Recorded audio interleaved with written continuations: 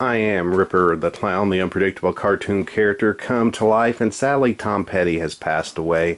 And per usual, when somebody whose work that I enjoyed throughout my life, someone whose work inspired me, someone whose work meant something to me passes away, I do a tribute video discussing why that person's work meant something to me in my life.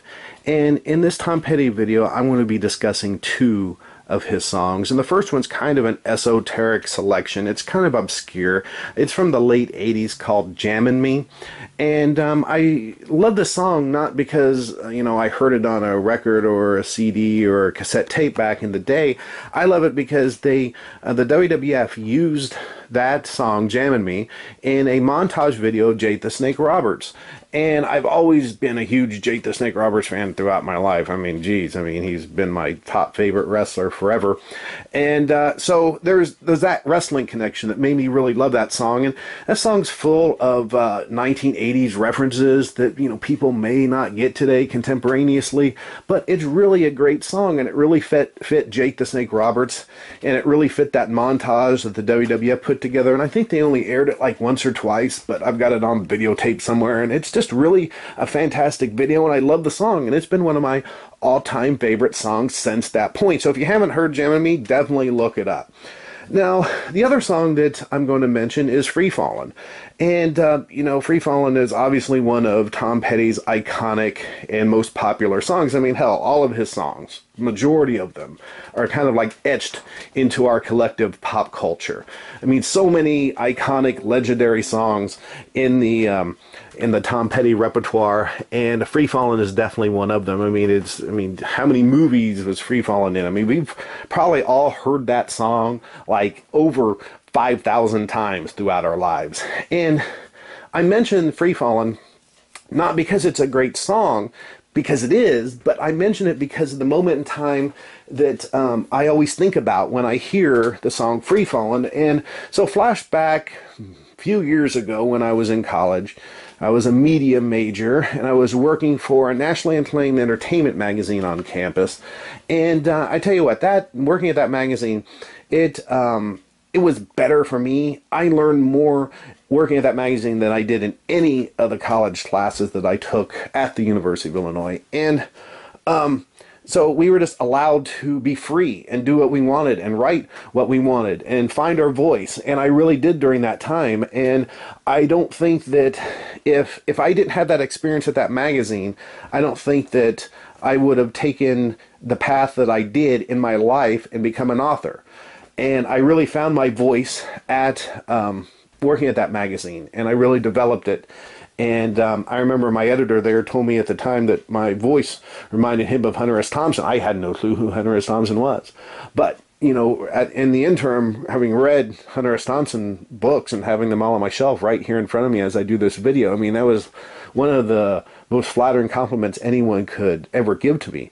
So, um, you know, working at that magazine, it was just a creative rush, 24 hours a day and I could hardly wait to get to work. I could hardly wait to get my assignments. I could hardly wait to get the magazine when it hit the newsstands. It was just an incredible, magical period of my life. And during that time, I was. We did a road trip one afternoon. We skipped class, me and a fellow writer, and I'm not going to mention his name because the story is kind of personal. Um, even though many years have passed, um, he's kind of become a pretty acclaimed writer and editor himself. He's works works for a magazine that is pretty much a household name, and he's worked for them since uh, since he he left the uh, you know since he graduated. From what I've learned, um, and we've sporadically kept in contact over the years, but. Um, we uh, decided to take off class one afternoon and uh, drive about 45 minutes from campus, did a little bitty college road trip to uh, cover a local uh, group of guys doing a uh, backyard pro wrestling uh, thing and a pretty violent um, pro wrestling taking place in their neighborhood backyard.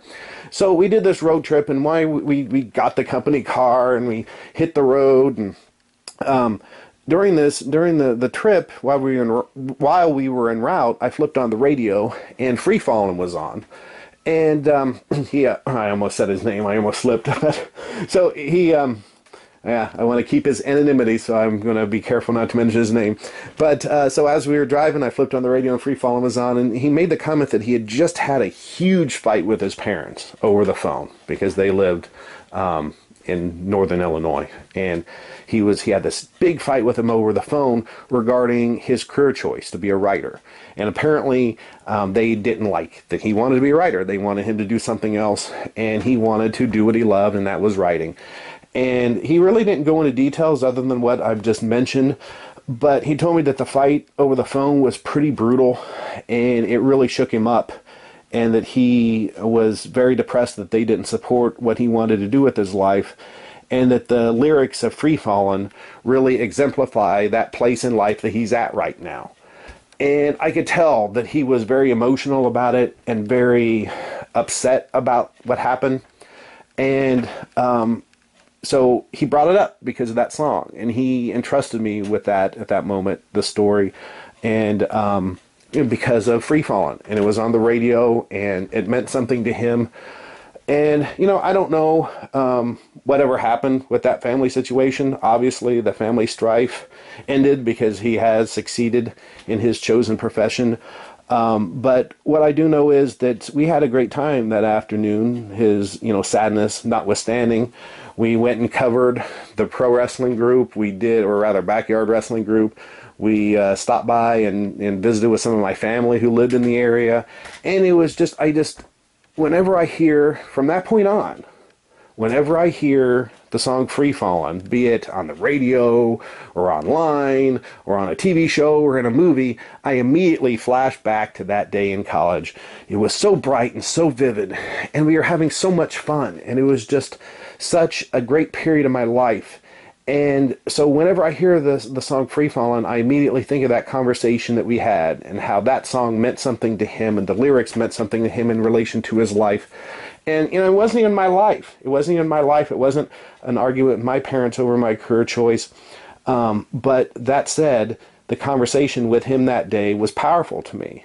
And it also marked a magical, inspirational, really amazingly fun period of my life that I'll never have back again. So um, for me, Free Fallin', when I hear it, I immediately flash back to that era of my life and that moment in time. And I think that just goes to the power of music and the power that music has on the, the mind, the body, and the soul. And if you've read any of my books or read any of my writing or watched any of my stand up comedy or watched any of my comedy videos, you know that I'm an extremely sensory person. Or I guess I should say sensory clown. You know, I love it when a certain sight or a certain sound or a certain smell transports me back to a different magical era of my life. And it's seriously like I can smell something or hear something, just a couple chords of a song, and I can just feel like I've time traveled, albeit momentarily, back to the first time or a certain time in my life when I heard that song. And Free Fallin' does exactly that for me. God bless Tom Petty. God bless his family and all of his fans. I am Ripper the Clown. If you've enjoyed this tribute video, subscribe to my YouTube channel. Do it now.